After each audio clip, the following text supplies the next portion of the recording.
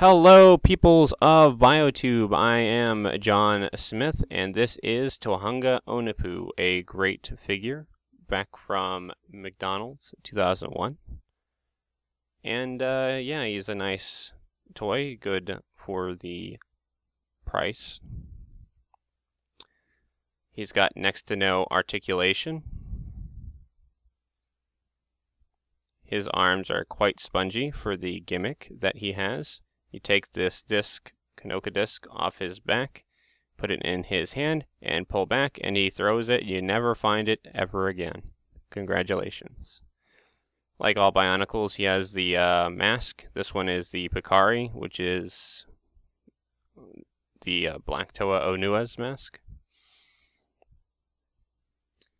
And overall, he's a pretty nice figure. You can take him apart and you can build a bigger figure with him like any other Bionicle figure. He's pretty legit. Nice color scheme.